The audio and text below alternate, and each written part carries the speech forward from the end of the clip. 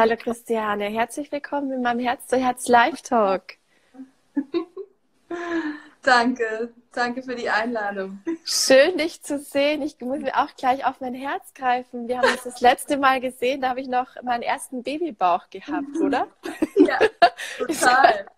Ganz schön lang her. Ja. Ja, schön. Vielen, vielen Dank, dass du dir die Zeit nimmst. Ähm, dieser Herz-zu-Herz-Live-Talk ist dazu da, liebe Christiane, den Menschen da draußen Impulse zu geben, wie andere Menschen gerade und in dem Fall du aktuell umgehst mit der Situation, ähm, in der wir alle sind. Ich stelle dich mal vor, Liebe Christiane, seitdem wir uns das letzte Mal gesehen haben, ich weiß gar nicht mehr seit wie vielen Jahren oder vor wie vielen Jahren, acht Jahre? Ja, ja. ich glaube, es ist noch gar nicht so lange, es sind vielleicht nur fünf oder sechs, aber es fühlt sich, es fühlt sich so lange an, weil es ist sehr viel passiert.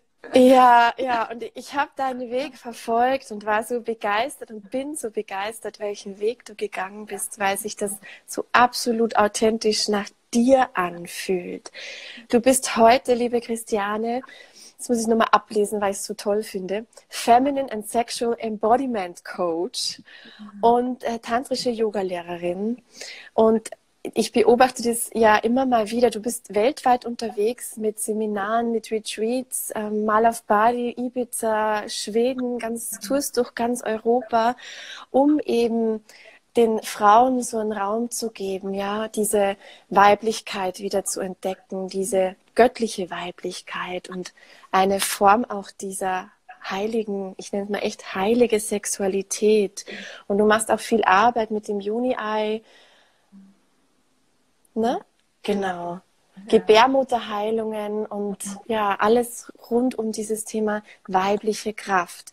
Und in mit diesem all diesem Hintergrund, den du da hast und mit diesem Kontakt zu den Frauen, die einfach äh, hier schon auf einer Ebene tiefer unterwegs sind.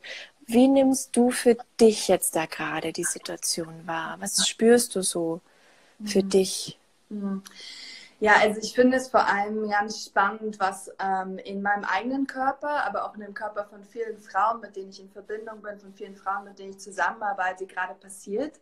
Mhm. Ähm, ich habe äh, zum Beispiel selbst äh, eine Woche früher angefangen zu bluten, also gerade mhm. auch wenn wir uns den Menstruationszyklus anschauen, was ein großer Teil meiner eigenen Arbeit ist, finde ich das wahnsinnig spannend, wie unser Körper und auch unsere Gebärmutter, unser Schoßraum da wirklich eine Reflexion ist von dem, was gerade im Außen passiert, ja. Mhm. Und wie wir, wie sich unser eigener Zyklus dadurch äh, verändert.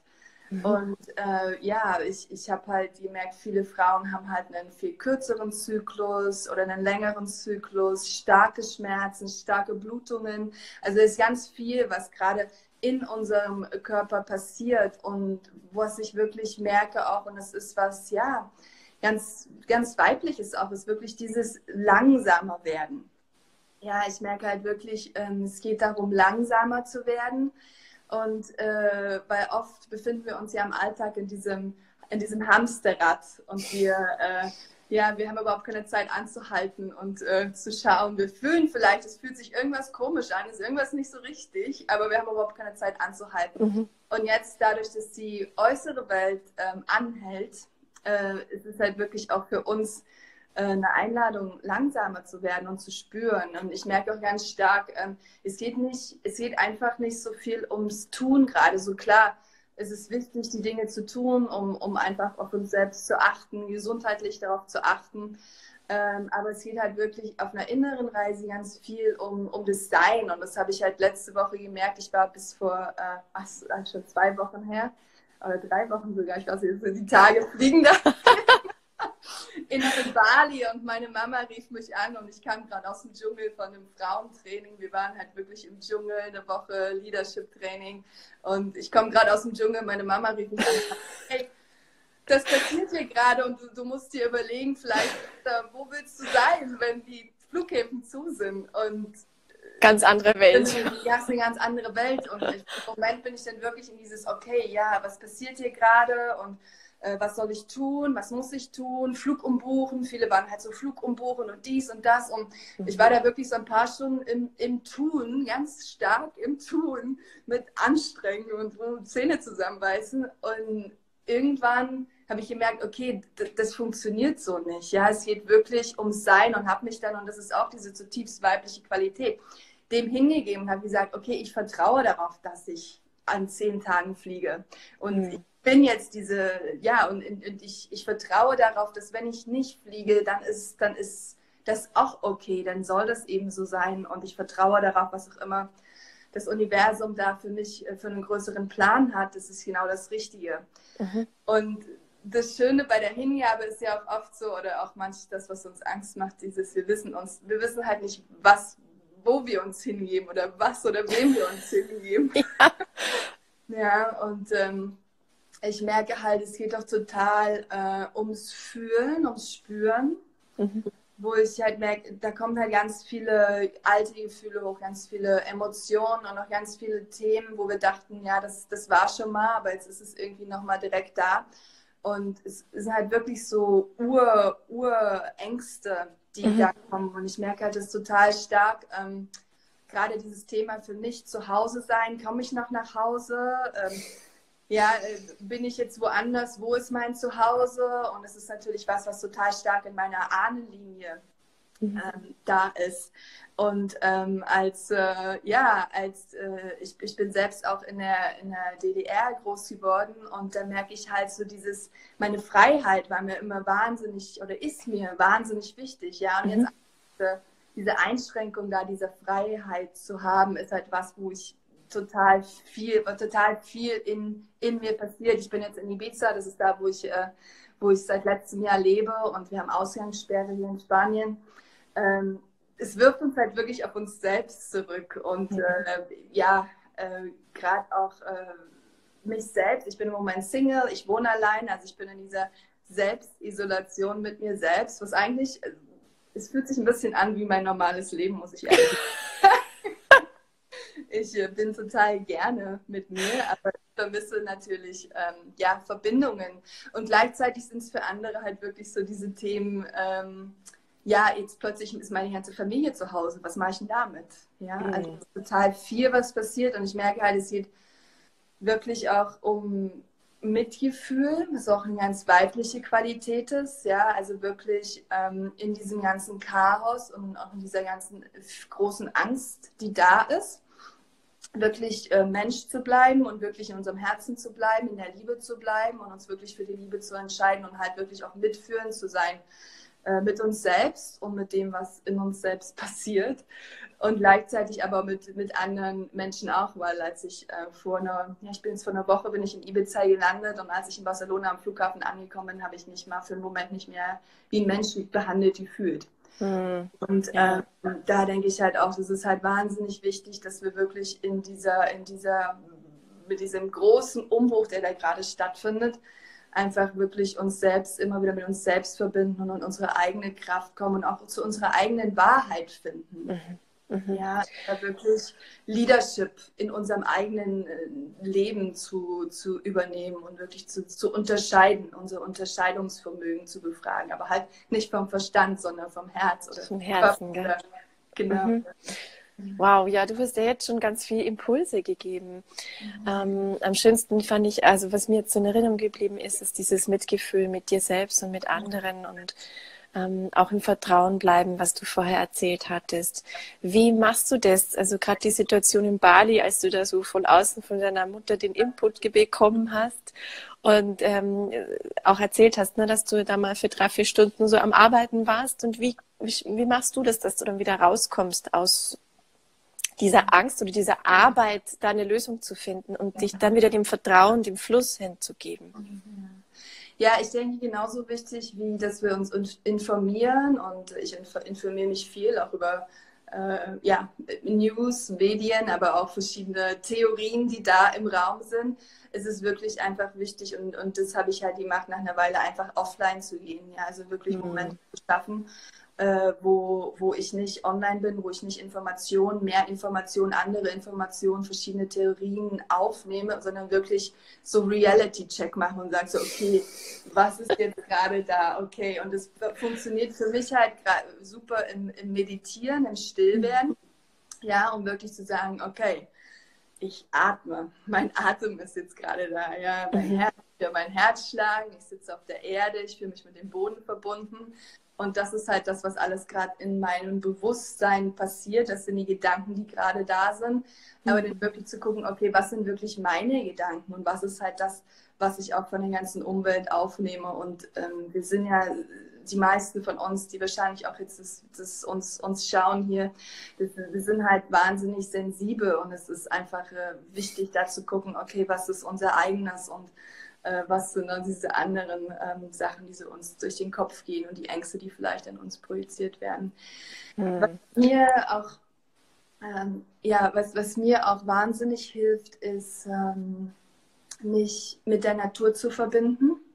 Mhm. Ja, also in welcher Form auch immer. Also ich habe das Glück hier, dass ich ähm, im Wald lebe, auf dem Land lebe, das Meer vor der Tür habe. Also ich bin jeden Tag draußen.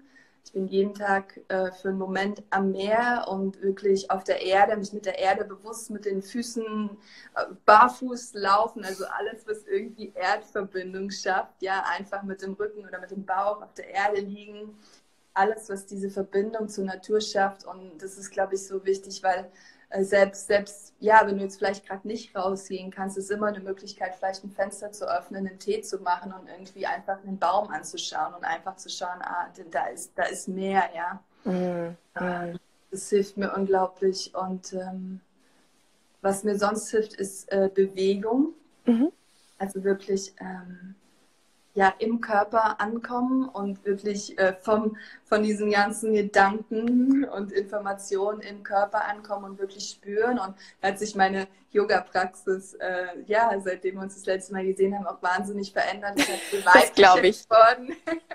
da ist ganz viel Yin, ganz viel Yin mit dabei, weil wir haben uns beim Yin-Yoga-Teacher-Training kennengelernt.